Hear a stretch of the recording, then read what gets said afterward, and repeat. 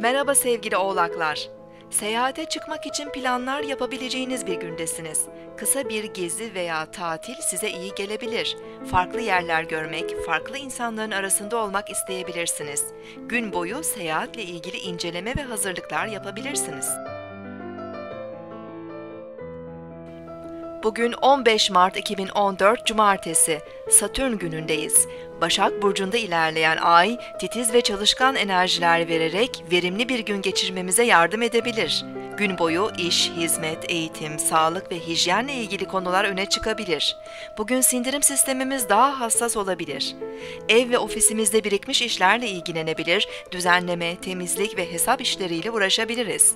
Ayrıntı ve detay gerektiren tüm işler Ay Başak Burcu'ndayken hızlı ve pratik bir şekilde tamamlanabilir. Merkür ve Mars arasında devam eden olumlu görünüm gerekli enerji ve motivasyonu bize verebilir.